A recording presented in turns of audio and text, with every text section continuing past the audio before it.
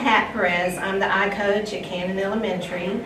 This year we have the portal, which is a space for technology innovation, to student creation, uh, STEM, and makerspace. Some of the activities we have in the portal are the Flipgrid for student voice. This is where students can uh, do their projects and instead of writing, they can actually tell about their projects and use their voice and choice. Uh, another activity which is really fun is the Makey Makey, where our students actually hooked up uh, a closed circuit to bananas and can play music. Hi, my name is Colton Cravey, and I will be showing you how to do a fruit piano. You just need a laptop, a makey makey, and a whole bunch of junk. We have robotics, which is coding, which works all across the curriculum for all subject matter. My name is Stanley Bennett. I am in.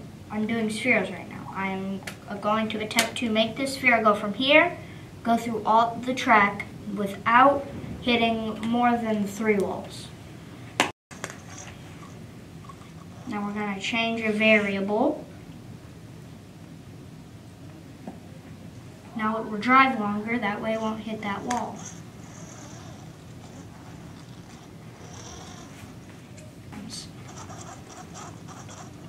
And there. And that is my final finished program.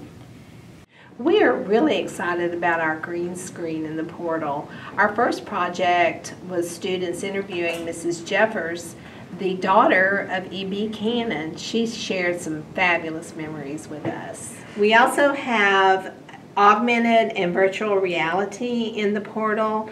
Augmented reality is when you point to your, your device to an object or a picture and it brings it to life. And virtual reality is when our kids like they can go on Google expeditions and travel around the world with the virtual reality classes. We are so excited here at Cannan that we are in the current making of becoming a WeatherBug school.